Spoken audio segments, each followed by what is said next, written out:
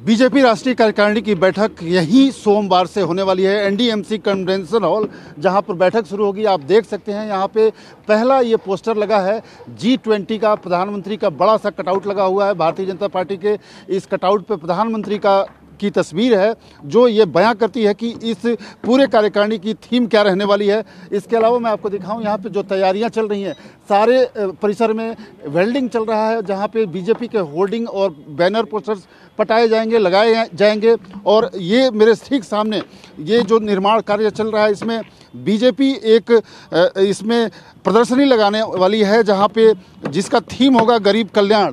प्रधानमंत्री मोदी सरकार के नेतृत्व में जो गरीबों के लिए काम किया गया है, उसके थीम पर इसमें प्रदर्शनी लगाई जाएगी और ये एनडीएमसी का कन्वेंशन सेंटर जो है, आप देख सकते हैं कि यहाँ चारों तरफ़ जो व्यवस्था हो रही है। वो इस दृष्टि से हो रही है कि यहाँ पे जो भी लोग आए तो इस कन्वेंशन सेंटर में आए वो यहाँ इस प्रदर्शनी में ज़रूर आए इसमें निर्माण कार्य चल रहा है और यहीं पे सरकार के केंद्र सरकार के जितने भी गरीब की कल्याण की योजनाएँ हैं उन योजनाओं के, से संबंधित तस्वीरों को लगाया जाएगा उनके बारे में जानकारी दी जाएगी। इसके अलावा आप देख सकते हैं कि किस तरह से पूरी सड़क जो है इसको एक तरह से पटा दिया गया है। बीजेपी के जो झंडे लगे हैं, यहाँ पे आप देख सकते हैं सड़कों पे आज से ही झंडे लगा दिए गए हैं, जबकि कार्यकारिणी दो दिन बाद है, और आप देख सकते हैं कि यहाँ जो बीजेपी की पूरी तैयारी है, चूँकि प्रधानमंत्री यहीं से आएँगे और इसी रास्ते से आएँगे और रोड शो तकरीबन एक किलोमीटर का करेंगे। मैं जिस रास्ते से आपको ले चल रहा हूँ, दिखाने की कोशिश कर रहा हूँ, ये रास्ता है जहाँ से प्रधानमंत्री आएँगे और बीजेपी कार्यकारिणी में शामिल होंगे। रोड शो का आखिरी पॉइंट ये होगा, यहाँ तक बीजेपी के कार्यकर्ता दिल्ली प्रदेश के खड़े रहेंगे और यहाँ तक प्रधानमंत्री का रोड शो चलेगा और इसके बाद प्रधानमंत्री कार्यकारिणी स्थल पर जाएँगे। बीजेपी के झंडों से वो अभी आप देख सकते हैं कि किस तरह से सड़कों पर पटा दिया गया है और वसुधैव कुटुम्बकम जी ट्वेंटी का जो लोगो है, कॉमन है और मिक्स है। आप देख सकते हैं कि जितनी भी सड़कें हैं, एक तरफ़ बीजेपी का झंडा लगा है तो दूसरी तरफ़ वसुधैव कुटुम्बकम से शामिल जी ट्वेंटी का लोगो लगाया गया है। तो ये अपने आप में इस पूरे कार्यकारिणी का थीम बताता है कि क्या होने वाला है कार्यकारिणी में। गरीब कल्याण और देश की अस्मिता, देश का जो सम्मान है, देश को जो सम्मान मिला है, उसको किस तरह से आगे लेकर गाँव गरीब, किसान और आम आदमी के बीच पहुँचना है, इसकी भरपूर कोशिश बीजेपी करेगी।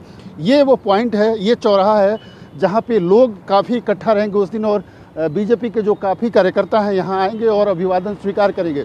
तो ये बीजेपी का की तैयारी है और ये एनडीएमसी कन्वेंशन सेंटर है। हम उस जगह पे भी ले चलेंगे आपको, जहाँ से प्रधानमंत्री का रोड शो का आगाज़ होना है।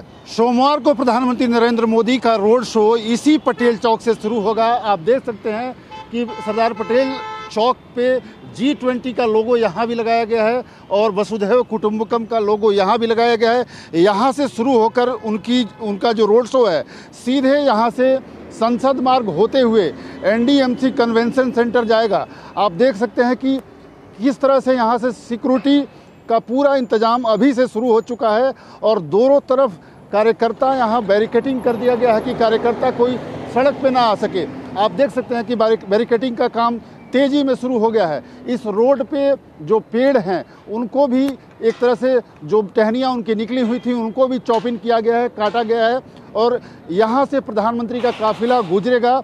ताकि उनके सुरक्षा में किसी तरह की दिक्कत ना हो तो आज से ही सिक्योरिटी फोर्सेज और तमाम जो अधिकारी हैं इन इस काम में लग गए हैं कि प्रधानमंत्री का जो रोड शो है, सहजता से और सुगमता से कैसे पूरा किया जा सके। दोनों तरफ़ यहाँ पर दिल्ली की हज़ारों जन, लोग यहाँ पर इकट्ठा होंगे।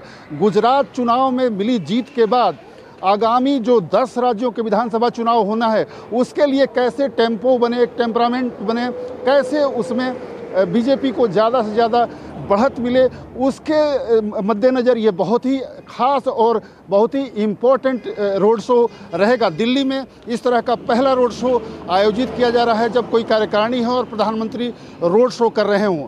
इस रोड शो के ज़रिए प्रधानमंत्री ये भी मैसेज देने की कोशिश करेंगे कि यहाँ से एक तरह से चुनावी सफ़र की शुरुआत होती है, जो 2023 में शुरू होगा फरवरी में, और उसका खात्मा लोकसभा चुनाव 2024 तक होगा। कैमरामैन मस्तान के साथ आमोद राय, टीवी नाइन